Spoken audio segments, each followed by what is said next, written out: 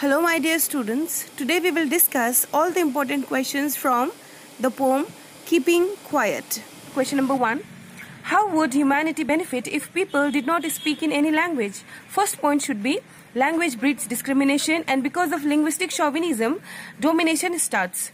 And uh, this example we have already seen in the chapter the last lesson okay where french people were subjugated by german and german language was to be implemented upon them.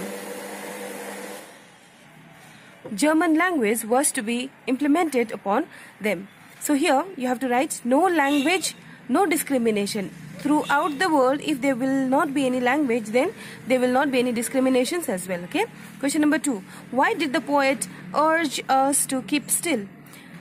Much of the unrest in this world is the result of man's so-called progressive and forward nature so no activities no progressive activities it means no use of arms okay for power and uh, there will be peace and tranquility question number 3 why does the poet want men on earth to keep quiet? First positive thing is the poet wants to promote peace and brotherhood. He had seen the positive aspects of remaining quiet and it is best antidote for restlessness. Okay. Question number four. What would be an exotic moment for the poet? A moment of immense world peace where there is universal brotherhood and love which is created through introspection and silence. This is going to be exotic moment for the poet. Question number 5. Explain without rush, without engines. So it is this particular phrase is symbolic to hubbubs of the modern life, okay, which is very competitive and in rat race to outshine others, we have become so much engaged that we don't have time to look after ourselves and life will be peaceful if we stop all these thoughtless advancements. Okay. Question number six. Explain sudden strangeness. Exotic moment of introspection built a sudden strange feeling of universal brotherhood. See, introspection is very important. In, introspection means self-examination. So when we examine our deeds, then we understand the follies of it and we go towards universal brotherhood okay and togetherness is a new inexplicable thing so togetherness unity is something which cannot be expressed it is because this is the first time entire world will be together we know that it is rare to happen but still the poet is optimistic for this okay? Question number 7 what are fishermen symbolic of? They are symbolic of all the sorts of hunters okay? It is not only limited to water land air and sea. All the hunters are symbolic of fishermen. And uh, they kill animals without any discrimination be it bird be it human being be it animals everybody is being hunted by uh, these people. Therefore it is symbolic of that. And the man gathering salt hurt hands explain. So here we find man who is continuous sufferer. They want comfort of life okay but in pursuit of that they have harmed him themselves. Man needs to look man needs to look to their life as well. See man has become so much hard-working person because of which they have forgotten to take care of themselves. Their health is ruining. Their family's emotional health is also ruining but they don't have time to look after them. They feel that money can buy all the happiness which is not true. Next question is who are those referred to here? Those are referred here as politicians, the politicians, the statesmen, statesmen and uh, the scientists, okay, who initiate war because of material advancement to prove that they have developed, they have created something in order to have power over another weak nation. They create war, they wage war. So they are referred here. Question number 10. Explain green wars, wars with gas, wars with fire. So here, altogether, it is a war against nature. All the flora and fauna will be destroyed when war will be initiated. Okay, so therefore it is war against environment. It could be biological war, it could be chemical war, it could be any kind of war. Eventually, it is against nature. Okay. let's move towards question number 11 clean clothes means without any bloodshed okay and um, this also shows when we stop destructive destructive activities then automatically we will be pure and we will think about our fellow brothers.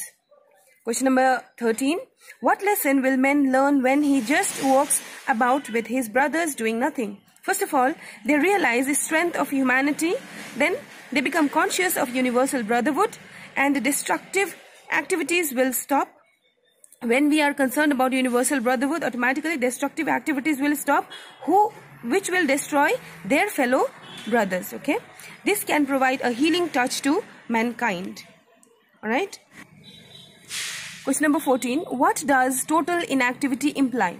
Total inactivity implies a phase of complete quiet and stillness no activity on earth, especially destructive one, and constructive activity should continue like keeping quiet. Keeping quiet is constructive activity. It is because we are creating peace and brotherhood. We are creating love among ourselves. So, positive activities should continue and destructive should remain still. Okay.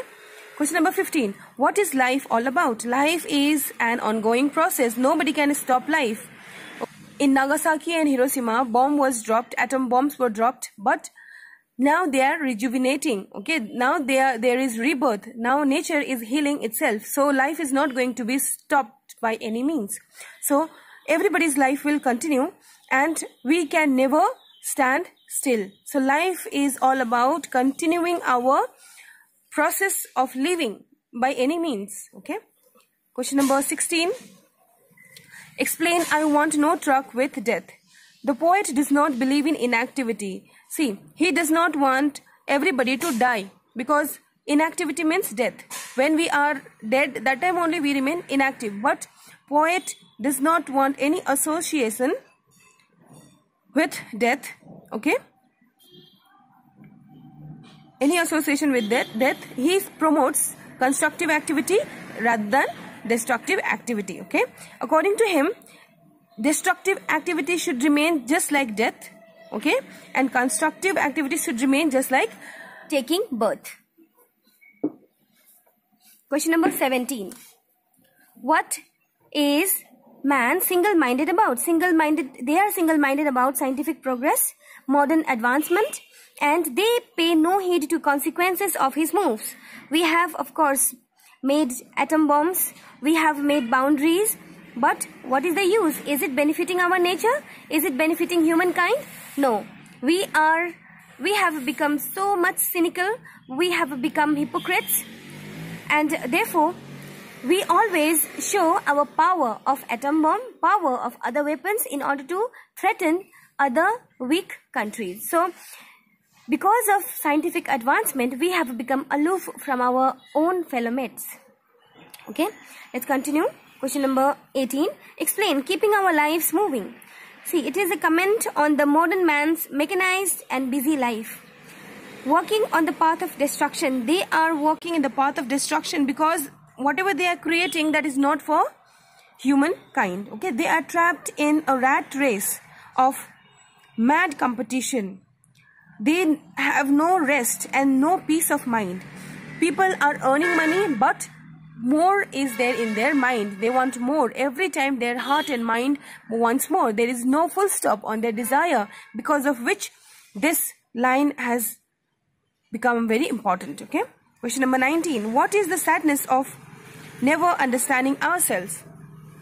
Materialistic things have made us so greedy because of which our entire life has become sad okay and in order to gain materialistic things we have sacrificed our emotional need.